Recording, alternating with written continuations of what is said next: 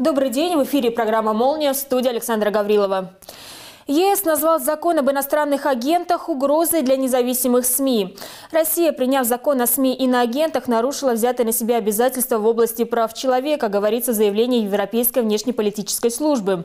В Брюсселе подчеркнули, что распространение закона об иностранных агентах на СМИ является еще одной попыткой сократить пространство для независимых голосов в России. Конец цитаты. В ЕС расценивают меру как угрозу для независимых СМИ. Ранее закон о СМИ и на агентах подвергло критике агентства, курирующее государственные СМИ США. В организации заявили, что ответ Москвы на действия Вашингтона в отношении телеканала Russia Today и «Спутник» нельзя считать зеркальным. ВИЧ-инфицированным разрешат усыновлять детей. Минздрав готовит необходимые изменения в законодательство. Согласно поправкам, ВИЧ-инфицированные смогут усыновлять детей или брать их под опеку.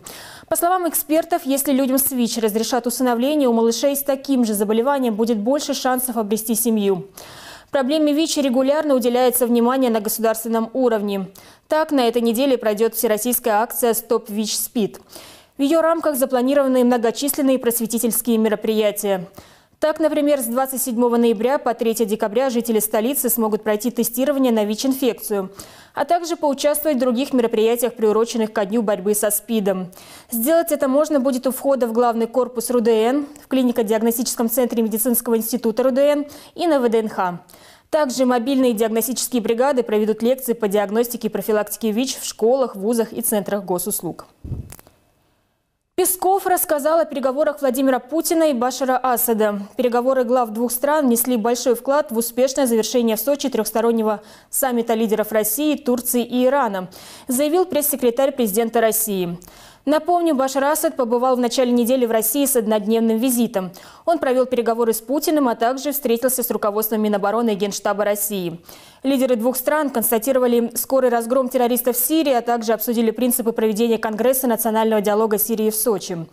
Президенты России, Ирана и Турции по итогам саммита в Сочи 22 ноября приняли заявление – котором, в частности, призвали продолжить деэскалацию в Сирии, начатую в рамках Астанинского процесса, подтвердили продолжение сотрудничества ради окончательного разгрома террористов и поддержали широкий межсирийский диалог. По словам Пескова, Владимир Путин продолжит дипломатический марафон по обсуждению ситуации в Сирии. И в продолжении темы – Лидер ЛДПР Владимир Жириновский принял участие в программе «Вечер с Владимиром Соловьевым» на одном из федеральных каналов, где во время своего выступления дал прогноз относительно перспектив развития отношений между Россией, Турцией, Сирией и Ираном. Но вот сегодня может начаться положительное развитие. И я предложил создать союз пяти государств. Россия, Турция, Иран, и, и Сирия и Ирак.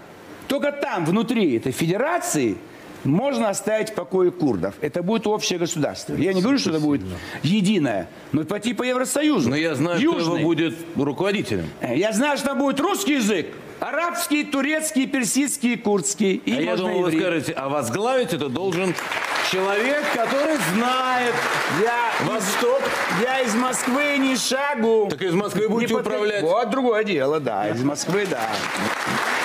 Поэтому сейчас Турцию разозлил Америка, Евросоюз, Германия, то есть она не желает с ними общаться. Иран в блокаде, и все его клюют, так сказать. В том числе и турки их недолюбливают, там и проблема и с курдами, везде. То есть они к нам тяготеют. Мы единственные для них нейтральные. Мы русские. Мы, так сказать, не вмешиваемся напрямую в их дела, и мы нигде не были ну. в столкновении. Но вот по Сирии они увидели нашу мощь, они поучаствовали. И теперь самое главное, я заканчиваю, видите, вам не имется дать туда. Да, я вот волнуюсь. Вот, вот, вот, да. Ограничить будет... меня. Да, потому что вы у вас будет безграничное воскресенье. Вы доиграетесь надеюсь. до 18 марта. Вы я доиграетесь. надеюсь. Вот сейчас мы можем на чем договориться, все три страны. Безопасность. Мы им обеспечим полную безопасность. Но продать им все – вот там может быть С-300, С-400, С-500, Иран. Ну от Ирана что требовать надо? И от Турции. Базы. Инжирлик передать нам, мощная военно-воздушная база. И Иран пусть не жадничает. Военно-морскую базу и сбудется наша последняя э, прогноз, что наши моряки окажутся на берегу Индийского океана. И военно-воздушную, Хамадан или вот на берегу Индийского океана. То есть мы им даем безопасность полную, мы закроем небо над ними, ну, я имею в виду фигурально, через да, да, да, соответствующую систему обучения. У них купим все, что у них есть лишнее. У нас огромная страна. И все, что у них созревает круглый год, пойдет туда. Мы отдыхаем у них. Мы им даем доход. Самые выгодные отношения им только с нами. Поэтому я прошу всех турок, персов и арабок, арабов хорошо учить русский язык. И сегодня актуальные новости обсудим с руководителем межрегиональной организации РУС Владиславом Колхидовым. Владислав, э, приветствую вас в студии. Предлагаю обсудить э, нашу повестку дня. Ну вот э, Дмитрий Песков рассказал о переговорах Владимира Путина и Башара Асада. Также завершился саммит в Сочи, трехсторонний саммит завершился успешно. Что думаете и как оцениваете итоги саммита? Стоит отметить в первую очередь, что европейские страны и страны Запада, такие как США, находятся в таком э, отрицательном отношении к нам по, по всем этим вопросам. Это свидетельствует о том, что мы идем в правильном направлении и в очередной раз убеждаемся, что все, что не нравится Америке, нравится и полезно в первую очередь нам. А, стоит отметить также, как президент Сирии высоко оценил действия нашего государства в борьбе с ИГИЛ. Мы спасли, если говорить так уж откровенно, спасли государство от этой чумы. К сожалению, эта чума на самом деле 21 века, которая угрожает всему миру. Это касаемо э, Сирии. По поводу трехсторонних э, переговоров э, стоит отметить, что несмотря, что есть многие разногласия между Ираном и Сирией во многих вопросах, Россия э, находит точки соприкосновения и ведет общий диалог. Вот э, этому стоит, наверное, поучиться сейчас и Америке. Где куда она приходит, там начинается война. Куда мы приходим, там войны заканчиваются, начинается нормальный дипломатический диалог. А что вы думаете о предложении э, Владимира Жириновского объединить страны Россию, Турцию, Сирию, Иран, Ирак? Ну, Владимир Жириновский уже не одно десятилетие доказывает, что во многих вопросах он оказывается прав, и э, его мышление, наверное, идет на улучшение многим государствам. А, но также Владимир Вольфович в первую очередь отстаивает интерес, интересы России, и в этом вопросе в том числе. Конечно, а, Россия – это настолько большое государство, многонациональное, многоконфессиональное, с огромными природными ресурсами и новыми технологиями, что а, странам, как Ирану, другим странам, есть, есть чему поучиться и у нас, и у них. Правильно сказали, что с точки зрения экономики все, что будет расти там, будут приезжать сюда, мы тоже многое сможем туда продавать. Но самое главное, вот э, что делала Америка за последние, наверное, 100 лет, это увеличивало количество военных баз на территории других государств. Мы должны следовать этому же пути, в первую очередь, чтобы соблюдать баланс. Когда этот будет баланс э, соблюден, мы тогда сможем чувствовать себя, мягко говоря, уверенно. И экономически мы будем иметь более э, весомое положение, и, конечно же, политически. А, а как вы оцениваете перспективы вот создания такой федерации по типу Евросоюза? Вот слияние вот этих пяти стран. Самое главное, чтобы Россия имела там ключевую роль. Вот если это будет так, то, конечно, это огромный плюс, в первую очередь, для нашего государства. Если нет, то, я думаю, и диалога никакого не будет. А, и вот еще один ключевой момент, о котором говорил Владимир Вольфович, а, он говорил о том, что а, Россия должна обеспечить безопасность, но в ответ потребовать э, от того же Ирана базы.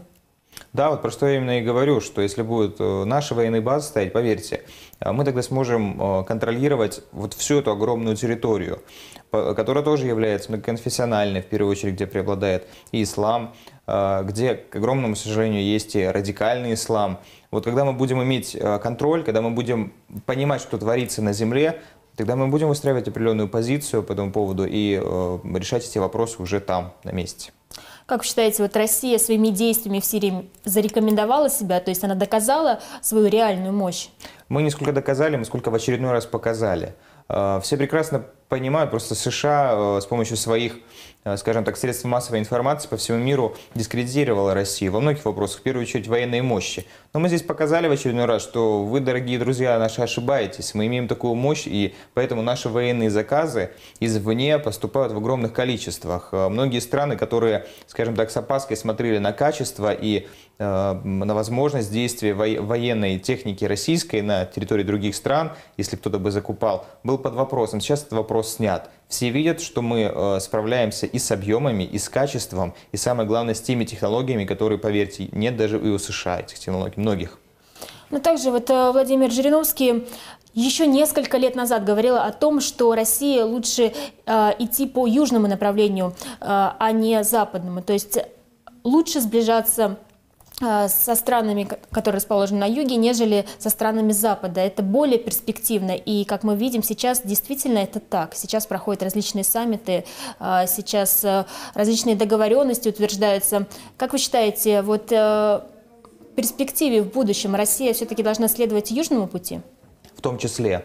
Настолько большие, я повторюсь, что вы должны работать во всех направлениях. Если мы будем э, на 360 градусов э, общаться со всеми, наверное, весь мир и покорим. В данном случае с Европой мы когда-то в 90-е годы, даже в момент распада Советского Союза, потянулись за этими красивыми вещами, э, красивой, как, так, в кавычках, жизнью. Но на самом деле ну, у нас есть, была своя жизнь, которая имела мораль, культуру, уважение друг к другу. А в отношении тех стран юга мы можем, скажем так, многому их научить. Выступать как старшими товарищами, где-то даже старшими братьями. Вот когда-то, э, да, я думаю, сейчас это есть во многих регионах, национальных в том числе, что русский народ воспринимают как старшего брата, а русский народ остальные как младшего брата. Вот такое же отношение должно быть Э, с южными странами, когда нас будут в, в Сирии, допустим, воспринимать как, опять же, повторюсь, как старшего брата, как старшего товарища, те, кто э, в данном случае э, спасли нас, то, конечно, нам в этом направлении не то, что нужно отказаться от старых, но нужно, стоит идти в этом направлении в том числе, не прерывая другие дипломатические отношения. А... Владислав, а на ваш взгляд, какая стратегия должна быть в выстраивании отношений с Америкой? Здесь уж точно не как старший брат. А, мы пытались много раз дружить, да, в данном случае мы должны просто показывать, э, насколько наша мораль и наши действия соответствуют нам самим. Э, я думаю, США как бы нас не клеветали, но они не смогут перебить ту правду, если она будет идти в тех масштабах, в которые мы сейчас выходим. Владислав, я предлагаю продолжить нашу беседу сразу после короткой рекламы. А я напоминаю, сегодня актуальные новости обсуждаем с руководителем межрегиональной организации РУС Владиславом Колхидовым. А, Владислав, а, предлагаю продолжить нашу беседу. Мы начали вам с вами говорить о а, итогах трехстороннего саммита в Сочи. Был период, когда у России и Турции были достаточно напряженные отношения и даже было закрыто воздушное пространство. На ваш взгляд, благодаря чему удалось преодолеть это напряжение? В первую очередь рвению двух государств к нахождению общих э, тем и, самое главное, желанию решить этот дипломатический спор, а, чего у нас, к сожалению, не может быть США, потому что мы хотим, а они нет.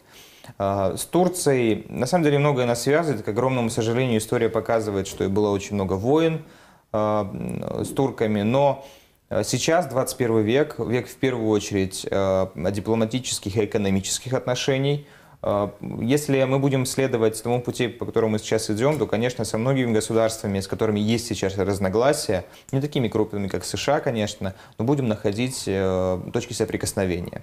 Турция для нас э, важный союзник, теперь мы союзники, и мне бы очень хотелось, чтобы это, в этом качестве мы друг другу оставались как можно дольше, а лучше и навсегда. Турция член НАТО, и если в будущем все-таки э, удастся, скажем так, либо убрать эту военную базу НАТО, либо поменять э, на российскую военную базу, то и Турция себя обезопасит, и мы себя обезопасим. Тем самым это в ущерб, конечно, американцам в первую очередь и странам тоже НАТО. А, вот к этому мы должны сейчас стремиться, потому что э, были и есть противоспо противопоставления друг с другом между Турцией и турецким президентом, который очень активно критикует НАТО, критикует Европейский Союз э, и также критикует и руководство Америки. Э, мы должны, скажем так, отстаивать свой нейтралитет и просто наблюдать в этом вопросе. Как вы считаете, какая последует реакция Америки на сближение России э, с той же Турцией, Ираном? С любой страной, с которой мы хотим сблизиться и нормализовать, либо улучшить отношения, везде США выступает против. Это, э, наверное, знаете, как та большая собака, которая немножко помешалась. Э, и самое главное, не американский народ, а американское руководство, которое не понимает, что делает, не понимает, что творится э, на земле, не понимает, как вообще общаются там люди, но своя идеология почему-то у них превыше любой другой. Ну вот так, э, Проводя саммит, э, лидеры трех стран подтвердили продолжение сотрудничества ради окончательного разгрома э, террористов и поддержали широкий межсирийский диалог. Как вы считаете, сколько еще нужно времени, чтобы окончательно победить террористов и восстановить мир? Как сказал Владимир Путин, в целом в этом регионе я имею в виду, допустим, в Сирии, мы практически закончили свою военную операцию и практически освободили территорию Сирии от игиловцев. Что касается в целом борьбы с терроризмом, это еще предстоит огромная работа. Я думаю, что не один год мы еще будем справляться, но я думаю, в конечном итоге справимся. Только объединение, как во Второй мировой войне. Если бы мы не объединились, если бы весь мир не объединился против фашизма, мы бы не победили. Если бы выстраивали такие вот отношения, как выстраивает сейчас США с другими странами, и ведет э, двойные стандарты, работает по этим стандартам, ну, о чем тут говорить? Вот если бы не США в Сирии, поверьте, давно бы э, был бы решен вопрос с ИГИЛ на 100%. Угу. Мы сейчас э, начали с вами говорить о союзниках России, но вот э, также поговорим об отношении России с США. На прошлой неделе состоялся телефонный разговор э, Владимира Путина и Дональда Трампа, после которого Дональд Трамп написал, опять же, в одной из социальных сетей о том, что разговор получился замечательным. Вот Часто очень Дональд Трамп озвучивает там итоги а, встреч, как замечательные, прекрасные, он настроен на диалог, но на деле происходит совершенно другое, и Америка в очередной раз выкидывает неожиданный номер, вот э, в том числе с СМИ и иноагентами. Что думаете вы на этот счет? А, во-первых, у президента США не настолько много полномочий, как мы привыкли об этом думать. А, если Сенат и э, администрация президента во главе с самим президентом имеют одно мнение, то, конечно, работа получается. Если они сами враждуют, то получается хаос, особенно в тех странах, которые подконтрольны США.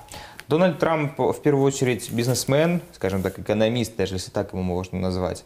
Ему крайне интересно работать с Россией, и он уже год с лишним пытается э, уговорить и убедить своих коллег э, в ниже стоящем органе власти о том, что нужно с Россией выстраивать, по крайней мере, экономические нормальные отношения, а не вводить все более новые жесткие санкции.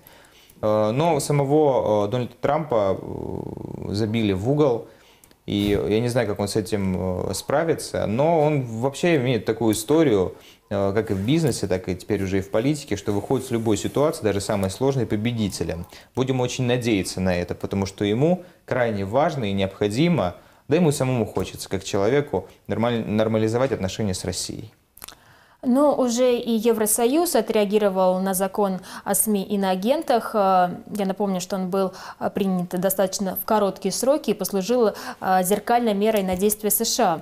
Ну так вот, в Евросоюзе назвали закон об иностранных агентах угрозой для независимых СМИ. И еще раз подчеркнули, что Россия нарушает взятые на себя обязательства в области прав человека. Как прокомментируете Права человека в первую очередь нарушаются самими штатами во всем мире. Почему э, новостные издания, которые их новостные издания американские, должны транслировать ту ложную информацию, которая э, освещается у нас? Почему э, нужно унижать Россию? Почему нужно унижать наших граждан? Кто вообще дал право Соединенным Штатам ввести такую политику? Мы себя просто обезопасили. Э, и да, мы ответили зеркально, как бы это ни говорилось. Russia Today очень пользуется огромной популярностью в Европе, даже в США многие смотрят, но это не повод, чтобы приравнивать и иметь, скажем так, рычаги манипуляции в отношении Russia Today, то есть отношение, скажем так, правдивой информации. Правда, но она всегда восторжествует.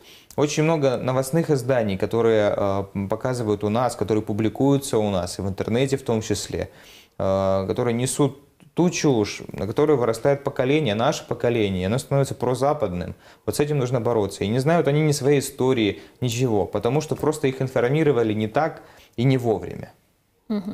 Ну вот э, Брюссель отмечает, что э, принятие закона о СМИ иноагентах – это очередная попытка России сократить пространство для независимых голосов в России. Вот э, как вы считаете, э, каким образом Россия сокращает э, пространство для независимых голосов?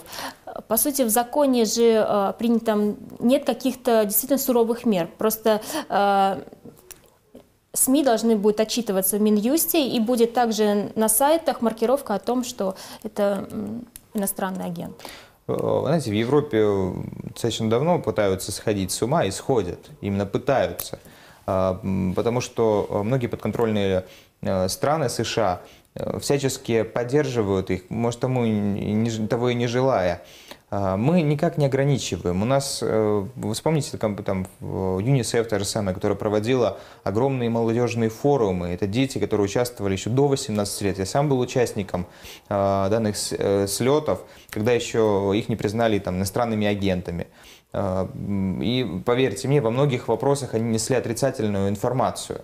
Но нас как-то наши наставники переубеждали и объясняли, что ну, они не так понимают, еще что-то. То же самое и в СМИ, а, то же самое и в Европе. Если Европа э, не хочет понимать, что такое мораль, культура, отношение нормальное э, к каждому гражданину, ну зачем тогда э, навязывать свою политику нам? Не хотите, вот не лезьте со своими делами в наши дела. Вот и все, вопрос будет тогда исчерпан. А, Влад, на ваш взгляд, чем же так мешал телеканал Russia Today Америки? Правдой, что... правдой, просто правдой. Мы, мы эту правду несли и несем во всем мире. И нас, я думаю, никто не остановит э, в этом деле. Если кто-то хочет врать, пускай врут, но мы будем всячески пресекать это. Как это и делаем. Влад, э, у нас есть еще одна новость э, в повестке дня. Вот ВИЧ-инфицированным разрешат усыновлять детей. Минздрав готовит необходимые изменения в законодательство. Что думаете о вот таком нововведении? Ну, во-первых, скорее всего, у нас большое количество ВИЧ-инфицированных, а, поэтому такая мера, она просто необходима. И я думаю, те люди, к огромному сожалению, которые либо по своей, либо не по своей вине были заражены и болеют этим недугом, а, это на самом деле тоже нужно иметь мужество – огромное мужество как мужчинам, так и женщинам бороться э, и жить дальше, зная, что у тебя такой диагноз. Э, но если будут воспитываться дети в этих семьях, и они, им будут прививаться, что такое хорошо, что такое плохо, у нас будет абсолютно другая культура в обществе по отношению к этим людям и этих людей э, к абсолютно здоровым. Вот везде нужен баланс. Вот этот баланс Министерство здравоохранения хочет, скажем так, привить, что ли, Э, данным людям, и в первую очередь здоровым в том числе, э, скажем так, поддержать общество. Ведь люди порой просто не знают, как жить с этим недугом. Многие просто не знают, что они вообще болеют, и волей-неволей бывает заражают других людей. Посмотрим, что с этого получится. Нужно обсуждать, просто обсуждать это. Но также вот отмечают, что у малышей с таким же заболеванием будет больше шансов обрести семью. Действительно, таких детей мало кто хочет усыновлять, и основной фактор – это страх, страх, что можно зародиться. А, как вы считаете, улучшится ли ситуация с усыновлением? Знаете, я думаю, что улучшится, потому что, если не ошибаюсь, родителям, которые сами болеют этим недугом, им нельзя усыновлять здоровых детей. А, да это и опасно, если так говорить. А здесь уже семья, которая, во-первых, ребенок будет находиться в любви. Он поймет, что такое отношение нормальное, семейное, да, родительское отношение к самому ребенку. А вот если мы будем исследовать по этому пути, я думаю, скажем так, любовь, что ли, к ближнему у нас будет э, появляться. А, также в столице пройдут э, мероприятия с 27 ноября по 3 декабря, э, где каждый может пройти тестирование на ВИЧ-инфекцию. А, и эти мероприятия будут э, приурочены ко дню борьбы со СПИДом. А, что думаете вот о таких вот социальных проектах? Знаете, я считаю, что такие социальные проекты должны как-то быть, что ли, каждодневно и анонимно. Если человек, ну, не знаю, заподозрил, да, что он сам болеет, либо кто-то из его товарищей, коллег, друзей, э, вот человек должен прийти и абсолютно бесплатно провериться. Это э, генофонд нашей страны. Чем больше здоровых э, и сильных людей, тем государство сильнее. Знаете, когда-то в США подсчитали, чтобы государство независимо существовало и не нуждалось ни в ком и ни в чем извне, нужно иметь население более 300 миллионов человек. У нас в период советского времени эта цифра была. Сейчас этой цифры, к огромному сожалению, нет. И мы должны, как ни странно, но рожать больше. И государство должно э, способствовать и, скажем так, поощрять это, в том числе и э, безопасностью. Если человек может прийти, обследоваться, проверить себя э, и убедиться, что он здоров, ну, я думаю, у каждого человека будет такая большая, что ли, уверенность и уверенность в завтрашнем дне. Надежда, что ли, на лучшую жизнь. А если человек болеет, то он, по крайней мере, будет знать, что он не один. И государство его всегда поддержит и научит жить с этим недугом. Ну вот э, также проведут диагностические бригады, лекции по диагностике и профилактике ВИЧ в школах, вузах и э, в центрах госуслуг. Вот насколько важно э, оповещать нашу молодежь? Вот такая профилактика, насколько она важна? Вы знаете, я помню, когда еще я в школе учился, у нас э, приходили и рассказывали. Но ярко мне запомнился огромный проект, он имеет мировой масштаб «Dance for Life», «Танцуй ради жизни». А, Поэтому нужно как такие проекты разрабатывать, двигать их, и появляется, появляться будет новая вещь. Владислав, благодарю вас за интересную беседу сегодня. В эфире была программа «Молния». Всего вам доброго. До свидания.